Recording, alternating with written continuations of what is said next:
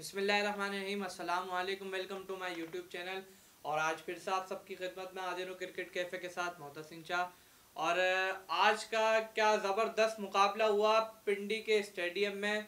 आज की सुहानी सी शाम पिंडी क्रिकेट स्टेडियम के नाम। और ये शाम की क्या ही बात है भाई, यहाँ पर जो है, इन्होंने सिर्फ़ एक टीम का साथ नहीं दिया, बल्कि दो टीम्स का साथ दिया।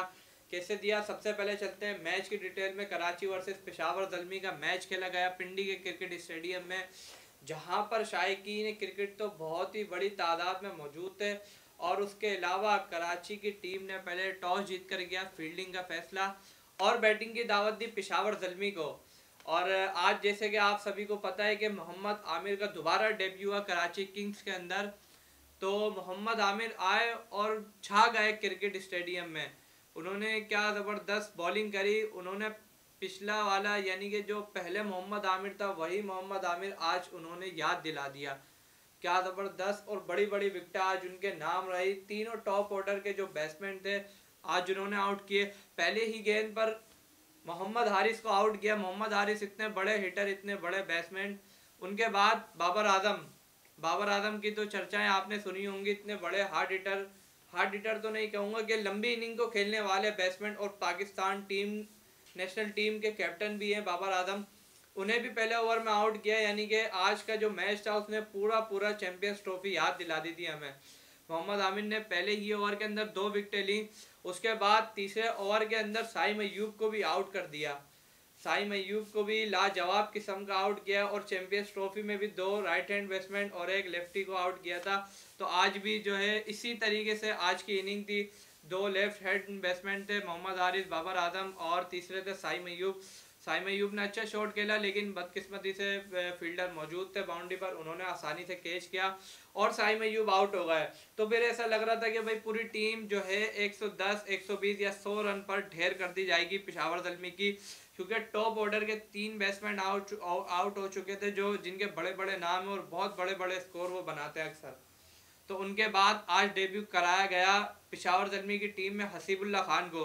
लेफ़्ट हैंडर बैट्समैन ने बलोचिस्तान से इनका ताल्लुक है और जब ये ग्राउंड पर आए तो इन्होंने ये नहीं सोचा कि भाई मेरी तीन विकेटें गिर चुकी हैं टीम की।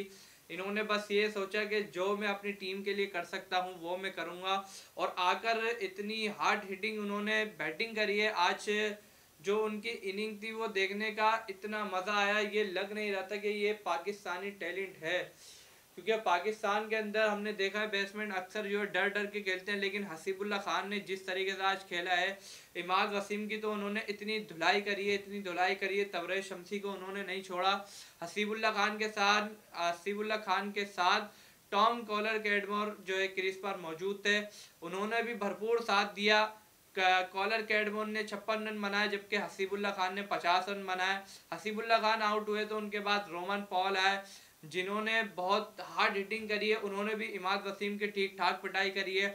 आकिफ जावेद की बहुत ज़्यादा पिटाई करी गई है। इस मैच के अंदर अट्ठावन रन उन्होंने खाए पूरे मैच में, चार ओवर्स के अंदर। और रोमन पावल ने जो है, बगैर आश्रय के रन बनाने स्टार्ट किए। और आखिर के जो दस ओवर थे, शुरू के दस ओवर थोड़ा स्लो रहे। उसके बाद जो दस ओवर स्टार्ट हुए उनके आखिर के तो उन्होंने तो बिल्कुल ही आसरा नहीं किया। रोन पा, रोमन पाउल आउट हुए तो उनके बाद आते हैं आमिर जमाल।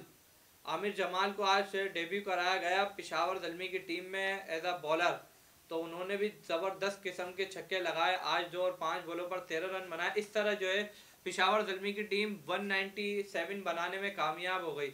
जबकि शुरू में ऐसा लग रहा था कि ये सौ रन भी नहीं बना पाएँगे और जल्द ही ढेर हो जाएँगे।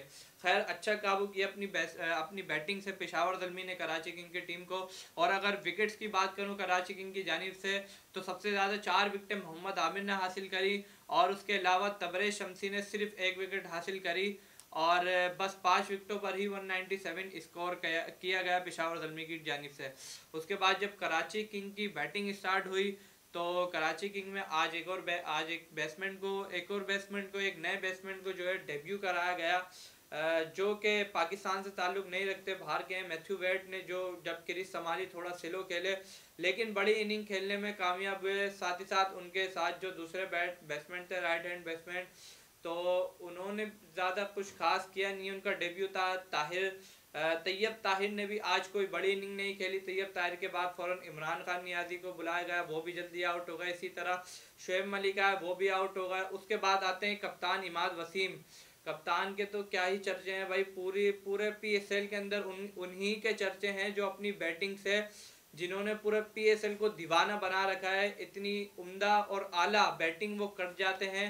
लेकिन मैच फिनिश नहीं कर पाते क्योंकि जो मिडिल के अंदर जो है, पाके, ये कराची किंग के जो बैट्समैन हैं, वो रन स्कोर नहीं कर पा रहे हैं। टॉप ऑर्डर तो उनका कामयाब हो रहा है। मैथ्यू बैट रन बना रहे जेम्स है, लेकिन अभी वो चले गए टीम से फ़िलहाल। दूसरे बैट्समैन आया रोशिंगटन के नाम से। उन्होंने भी सही खेला पावर प्ले सही निकला कराची किंग का, लेकिन जो मिडिल ऑर्डर था, वो ऐसा लग रहा था कि जैसे पाकिस्तान की टीम खेल रही है मिडिल ऑर्डर जो है बिल्कुल ही नाकामयाब हो गया। बिल्कुल ही जो है फारिग है मिडिल ऑर्डर कराची किंग का और बैन कटिंग आते हैं, बैन कटिंग एक दो छक्के लगाते हैं, लेकिन फिर वो वहाब रियाज की बॉल पर वो भी आउट हो जाते हैं। फिर इमाद वसीम ने क्या खेला भाई? अट्ठारह अट्ठारहवें ओवर के अंदर उन्होंने पाँच चौके लगाए, लेकिन जो है मैच पूरा हाथ से निकल चुका था और आठ बॉलों पर तकरीबन अड़तीस रन दरकार थे कराची किंग को। तो इमाद वसीम खैर नहीं बना सके और उनके साथ आकिब जावेद थे, उन्होंने भी डॉट बॉल करी काफ़ी। तो इस बिना पर 24 रन से ये कराची किंग की टीम आज का मैच हार गई। पिशावर जलमी से सबसे पहला मैच पीएसएल का कराची किंग हारी थी, आज फिर पिशावर जलमी से हारी है।